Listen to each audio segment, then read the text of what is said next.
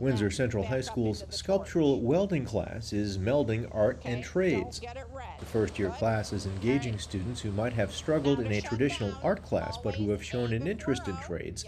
This allows students to get art credit without taking the studio art class and instead express creativity and develop hands on skills in a different way. The sculptural welding was, I guess, a brilliant idea.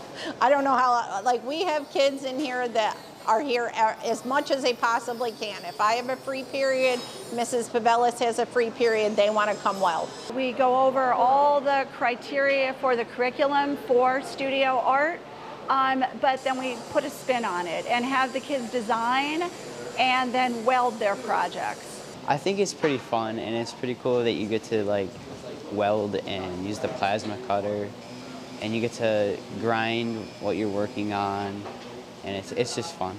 I think it's like one of the funnest classes. It's like, I've learned a lot from it and like, I think it's like really helpful and it's like kind of like a life skill everybody should know, I think.